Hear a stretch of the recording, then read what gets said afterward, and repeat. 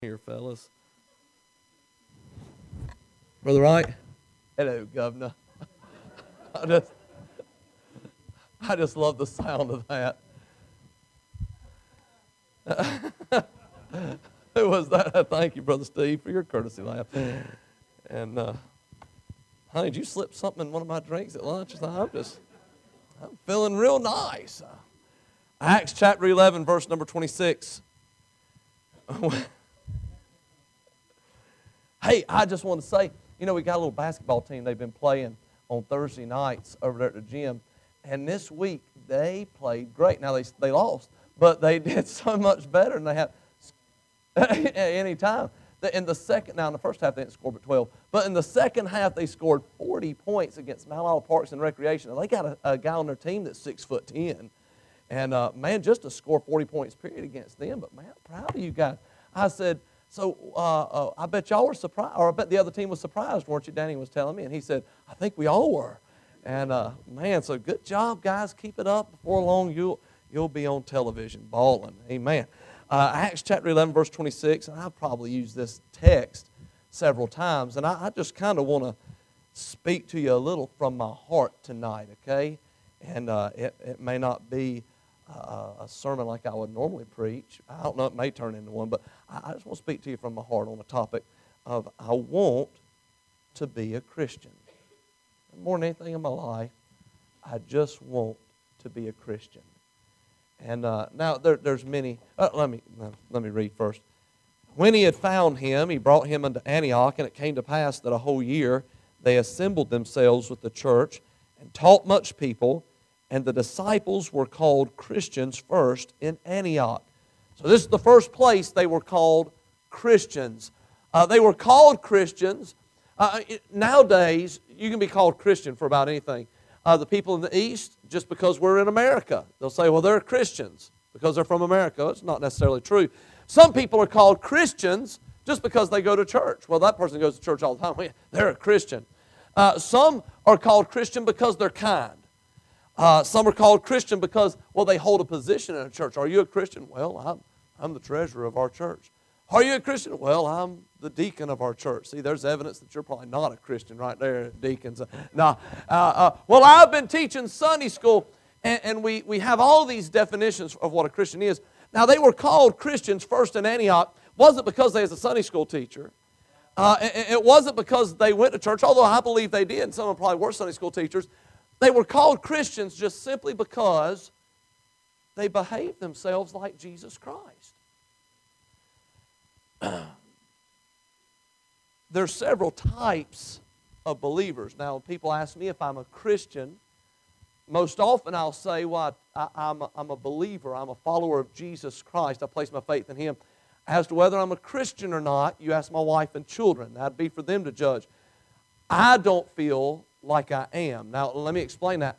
I, I'm saved. I'm on my way to heaven. That word Christian to me well, I have a hard time placing that label on myself because that word that it means Christ-like, little Christ. Now I know Ronnie Wise. You don't know Ronnie Wise. You think you do. I know Ronnie Wise. Often I, I, I fall way short of that mark.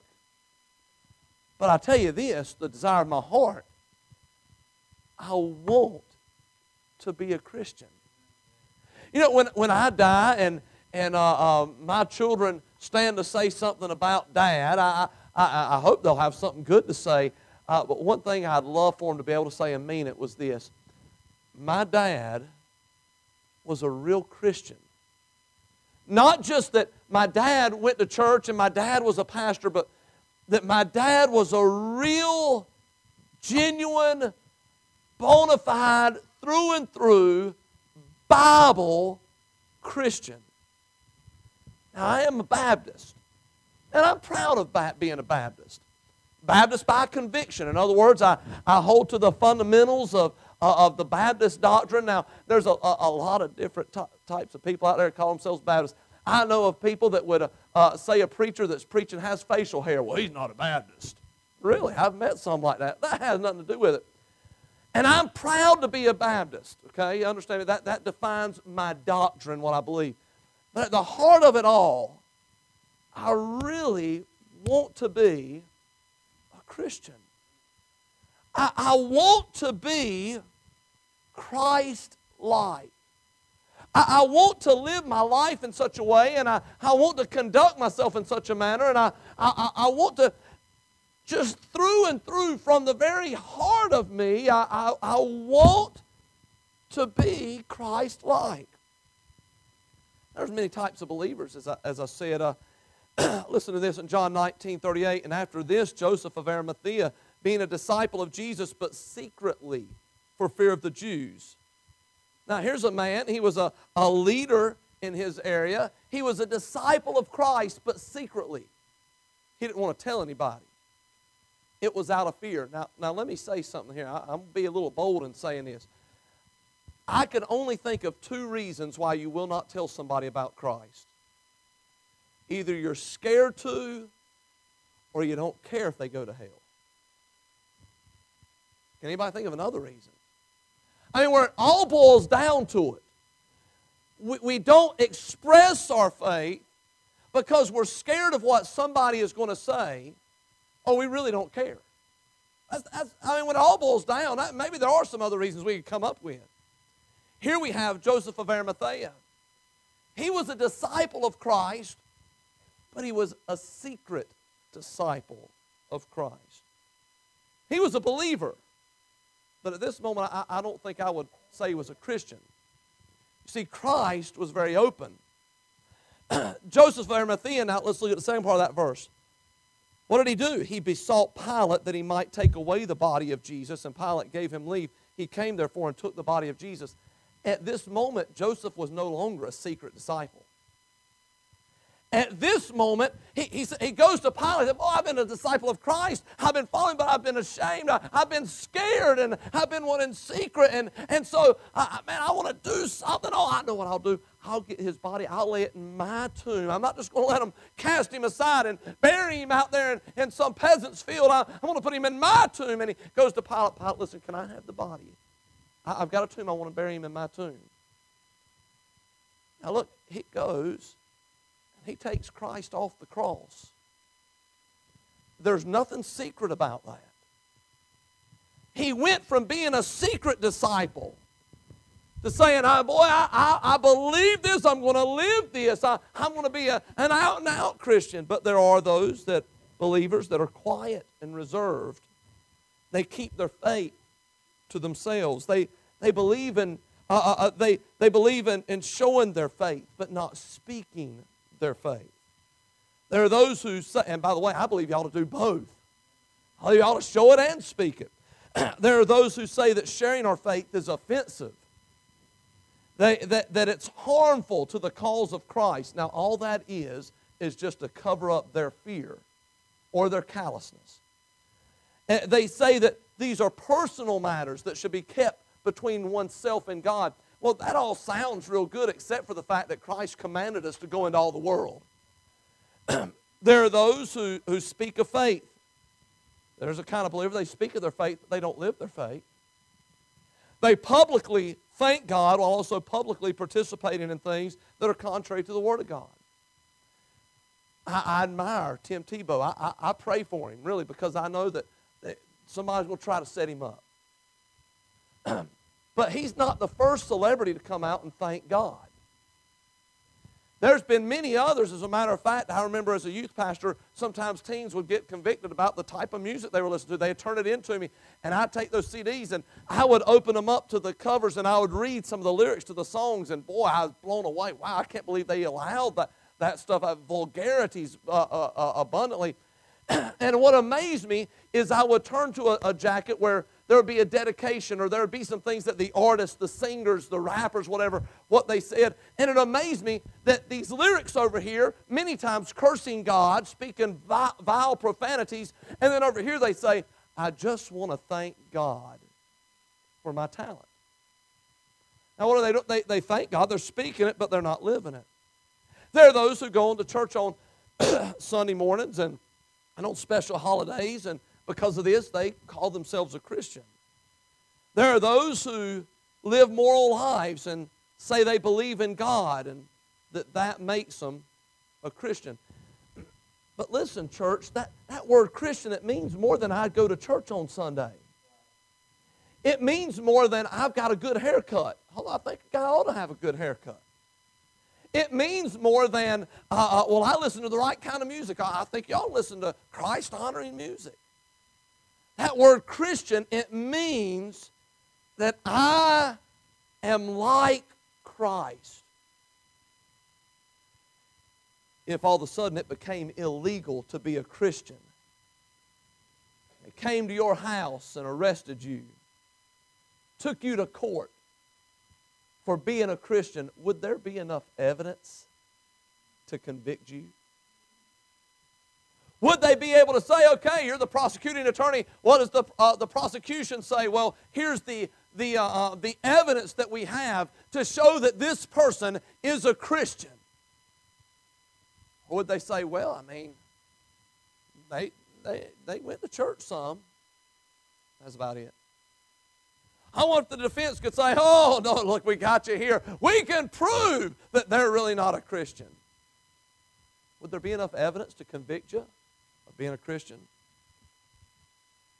There are those like we find in Acts chapter 4, verse 13.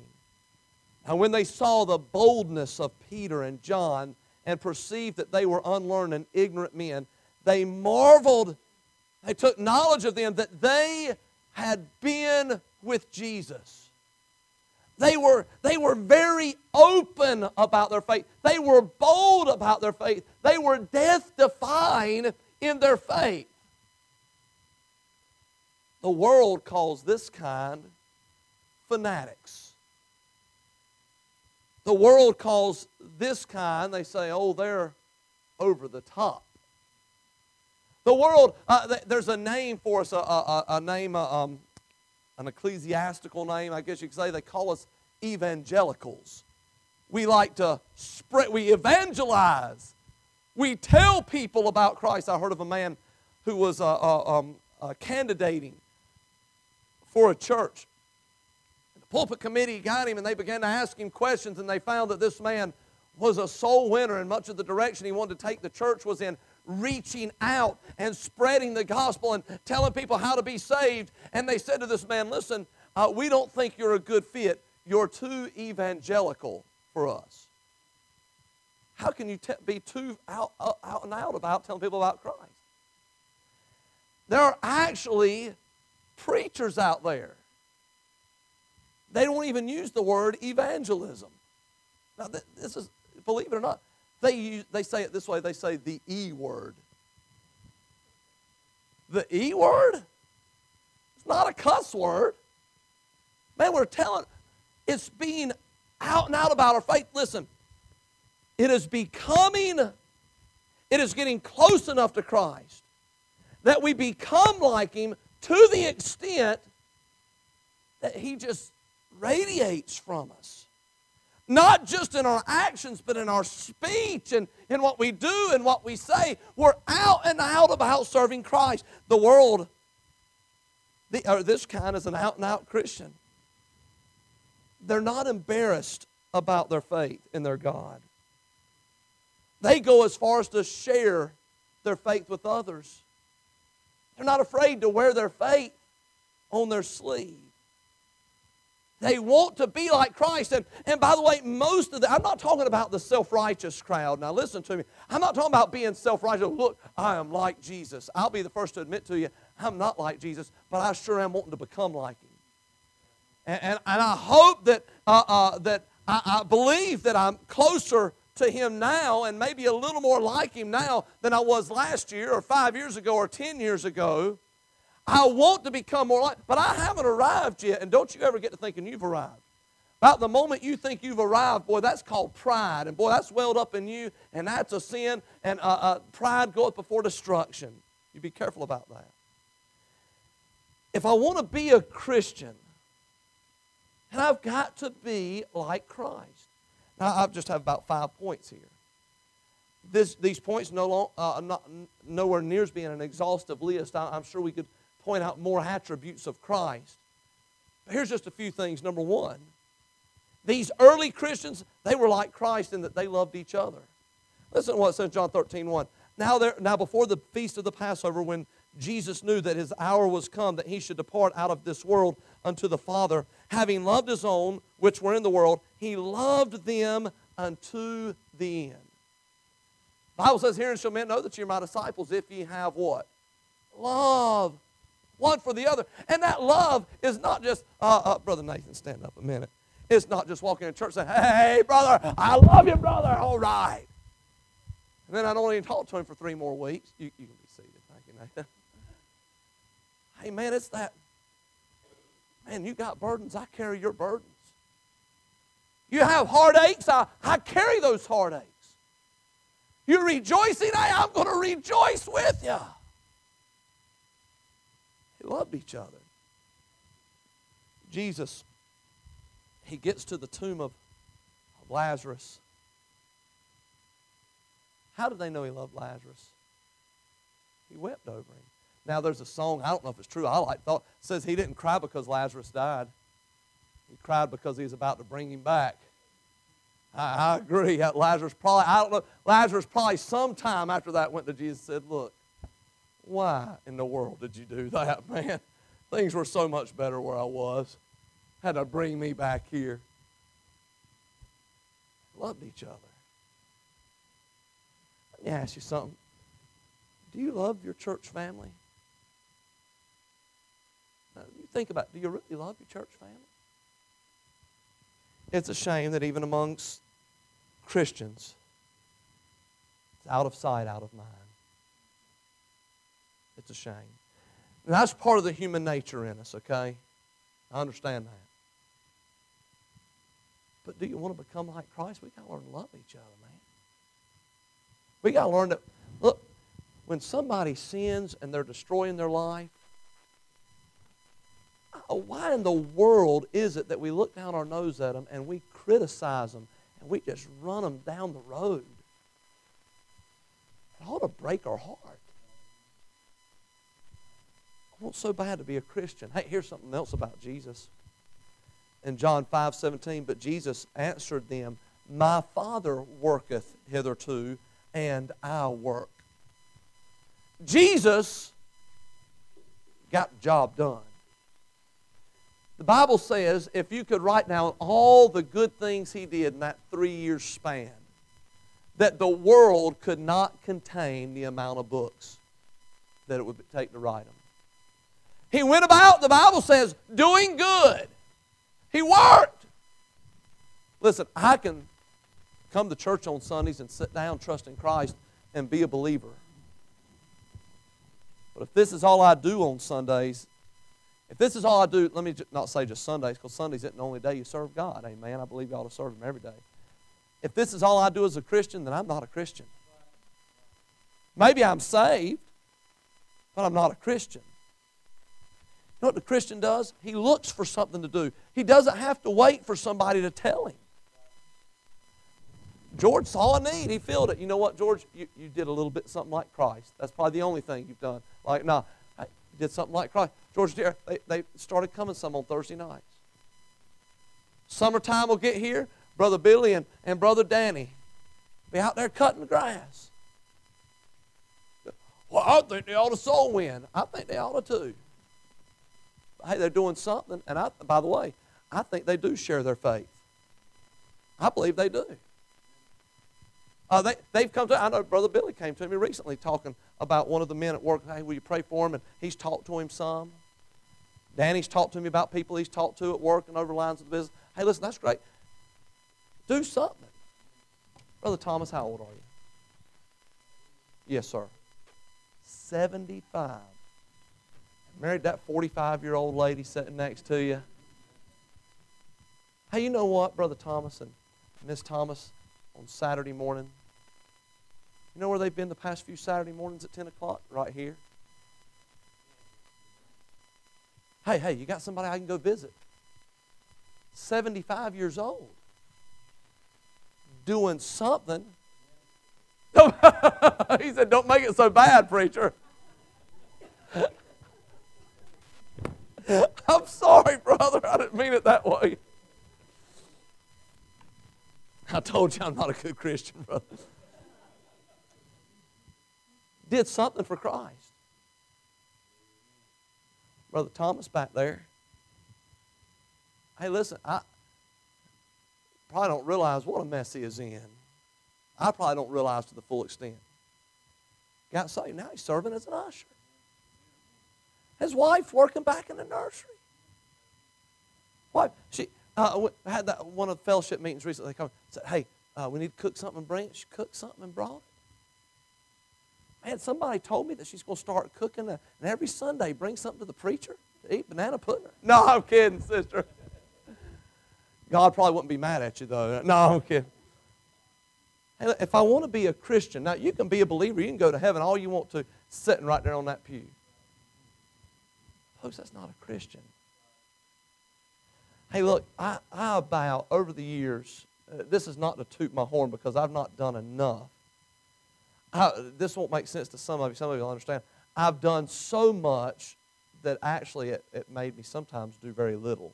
I don't know if, that, if you understand that or not. Get involved doing so many different things, I, I couldn't do one thing right. I, I, I, get caught up in that real easy. I'm, I'm, I'm a workaholic, okay? I, I, that's all I know to do. I'll take on more things than I, I can handle. Uh, I'll, I'll about burn myself out. Matter of fact, I could use some help right now. Oh, I, I love my route. I don't want to give my route up, but really, folks, I, I kind of I need somebody to take that route. I, I could use that help. There's an opportunity for you right there. That route I have just in town, I, I leave here at 9.15. I'm back by 9.45. It's just right there in town. Need somebody to love those people. Somebody could take that route and really build it. I, I don't have, I, I, I'm doing so much, I, I can't build it like I'd like to. And, I, and uh, I don't have a helper. That's one reason I can't build it. I don't have somebody on there with me. Wednesday nights, I'll put 25 kids on there sometimes. Brother Vary's jumped, stepped up, and he helps. We split the route. But you got 25 on there and ain't nobody helping you but GL, and all he's wanting to do is, is eat a Twinkie. No, I'm kidding, Brother GL. I can't believe I said that. Where did that come from? Who's up back there?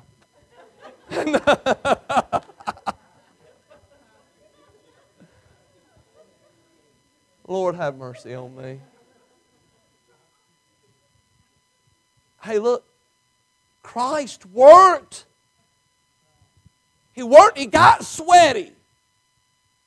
Made me sick one time when he was having a bus meeting. There's this pretty boy done working a bus, which I was glad he's working a bus. But he's one of those that would kind of talk just, you know, a little bit, a little bit like this. Just a little bit.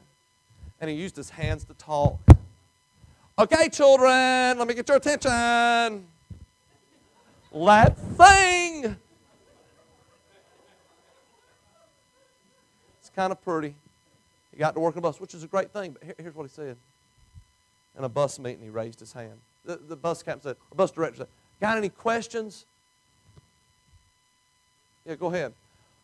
Well, listen, we need to do something about these buses because I keep ruining my shirts and they're about $60 a piece.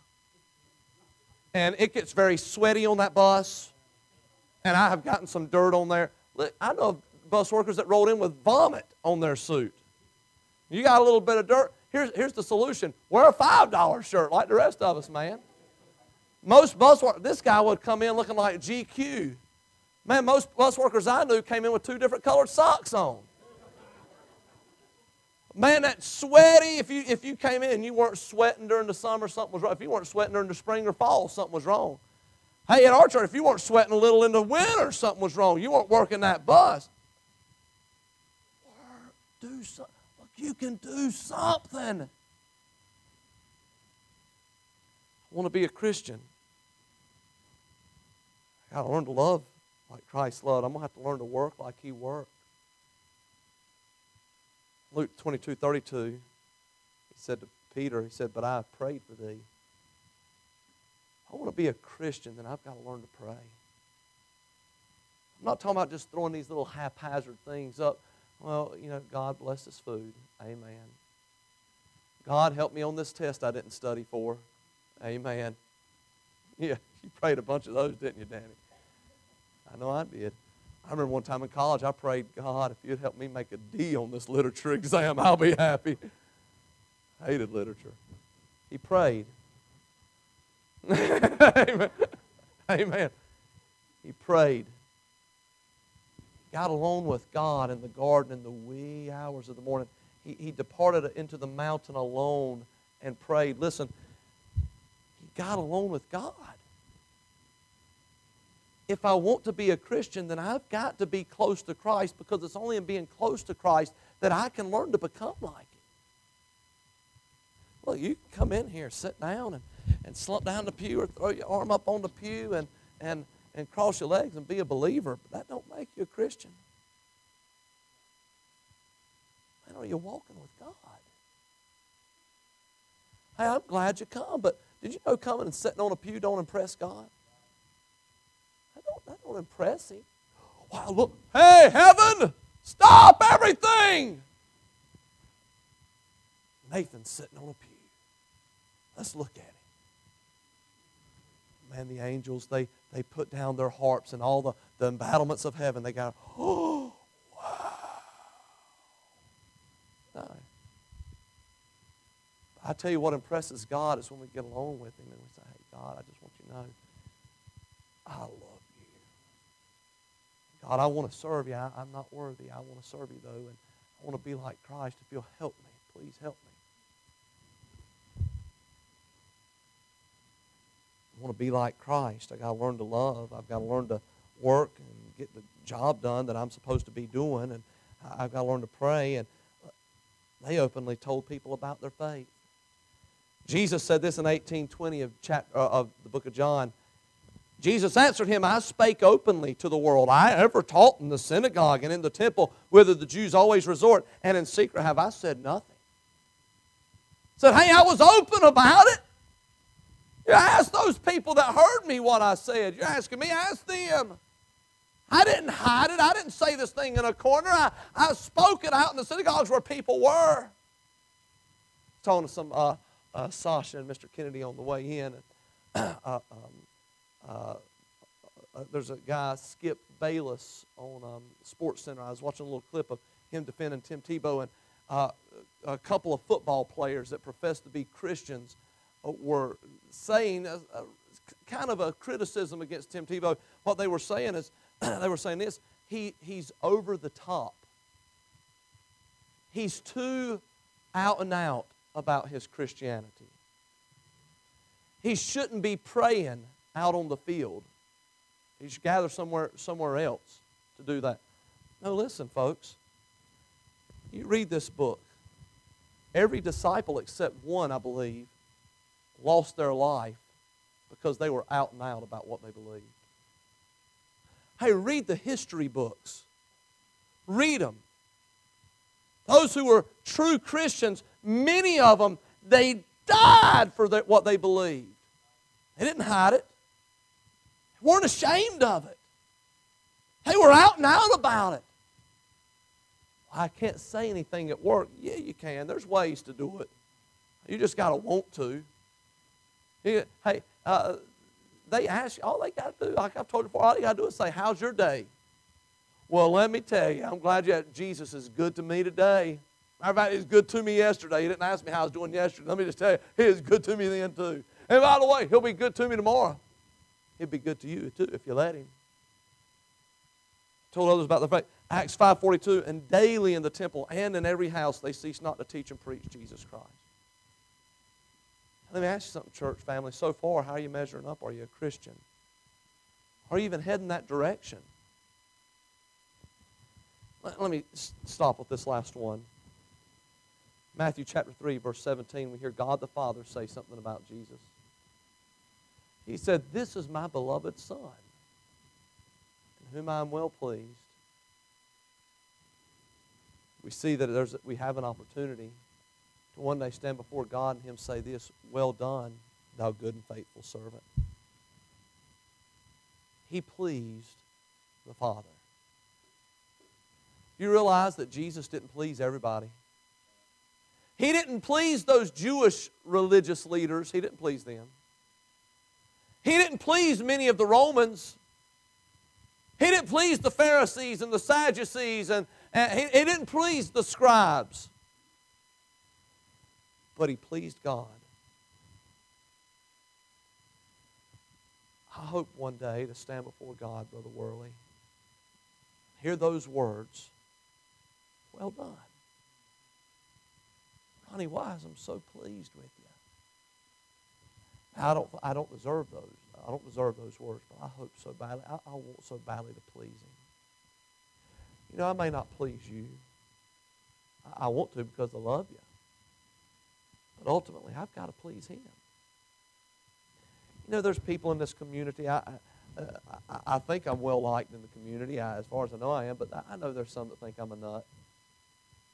Uh, they think I'm crazy. I know that.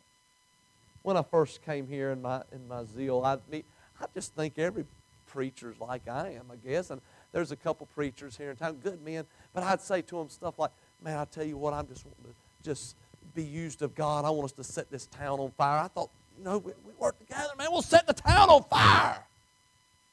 Said, man, I, I, I, want, I want so many people getting saved that the drug dealers and the, the bartenders call me mad because we're hurting their business. I didn't realize they were customers.